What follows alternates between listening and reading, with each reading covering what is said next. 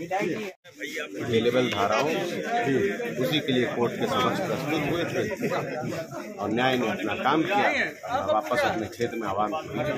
किस मामले में मुकदमा दर्ज था? चुनाव में कोई आचार संहिता का उल्लंघन का मामला किससे किसके खिलाफ था और किसी मिली अब यार हम एफ़ आई आर। ये काम वकील से आप थे और?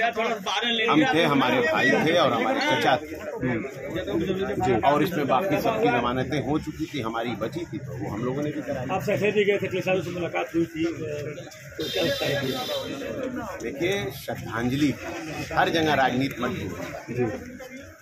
नहीं अब समाजवादी पार्टी नेताजी नहीं रहे तो ऐसे में राजनीतिक रास्ते को लेकर भी तो किस तरह से आप सोचते हैं? इस हैं पे टिप्पणी मैं कैसे कर सकता हूँ? मैं इसके लिए अधिकृत नहीं क्या लग रहा है कि आने वाले समय में आप जा रहे हैं सपा में? ये आप बता सकते हैं।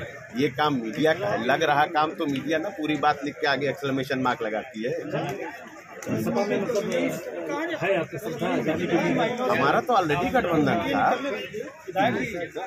तीन महीनों से पुलिस आपको ढूंढ रही थी पूरी उत्तर प्रदेश की पुलिस नाकाम होगी पुलिस आपको कोई जाने। नहीं मैं कल सिपाही में शहर की जनता के बीच जाएँगे आज बिल्कुल बिल्कुल जाएँगे क्यों नहीं जाएँगे?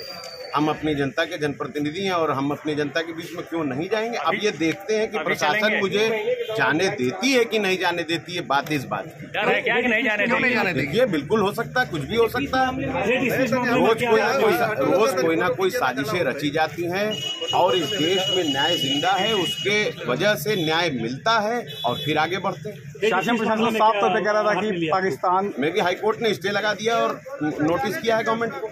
डर है क्या कि मऊ पुलिस रोक देगी आपको शहर में जाने से? ऐसे सवालों के जवाब आप खुद जानते हैं। शासन